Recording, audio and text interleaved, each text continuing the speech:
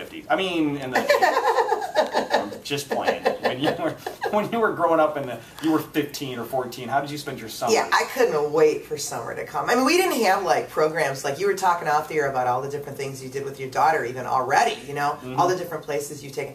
We, um, you know, we got a pool. My mom got like an uh, my mom and dad got an above ground pool. So like I would be in that pool from morning until evening. I come Yeah. out, eat lunch, get back in again. Well, did you after you waited 30 minutes. You know, I was in there. I was literally. I, there were times that I'd be eating a sandwich over the side. You know, I, I should have been born a fish or something. Okay. Uh, but we didn't have any of the after school stuff. It would have been nice if we did. But you were talking about some some stuff that you've done with Grace already. Well, we've oh, there's a list that I found online that I think is just a great resource, and I'm going to try and share some of these with you. And tell, and, and I've done the first two already, actually. The uh, and we'll do another one, the same thing. We're going to do a repeat performance tomorrow night. But here are some ideas if you have kids of all ages, really. That you can spend some time with your kids actually out doing something. First one is, and I did this last weekend. Feed the ducks at Reed's Lake in Grand Rap- East Grand Rapids. Nice. So Grace and I went out there, bought some bread, and we fed the fed the ducks. That was Yeah. number one, so I did it number one. That's number fun. two, catch a Whitecaps game. Great thing to do with your family. Cheap tickets, dad, you can grab a beer. You got the great. and like you food. said, you don't have a bad time at the I never game. know. That, that is my life motto. I'm a, I'm a baseball lover, so when I get to the ballpark, I am in a great mood. So there's another thing you can do. Now, have you been to Tunnel Park near Holland?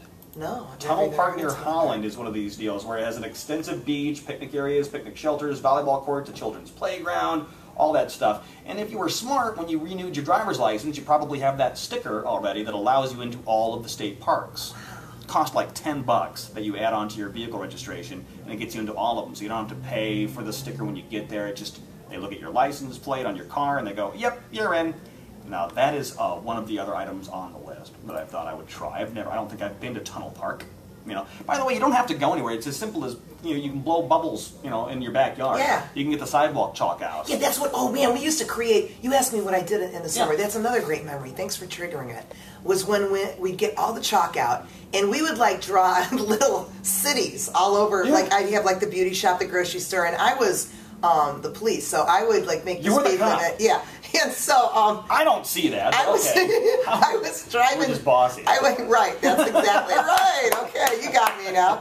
So I'm driving down this, the road. I made like the speed limit 100 miles per hour. You know, so I'm thinking I'm going to do this on my bike, right? So I start driving as fast as I can. And I guess what happened is I must have hit a tree or something because I knocked myself out. And my friend Brenda's like knocking on my mom's door. You know, she's not. Kim's like knocked out. You know, she's not waking up. You know, I can't get her up. So this is what you did. knock yourself out. This is, this is a good story.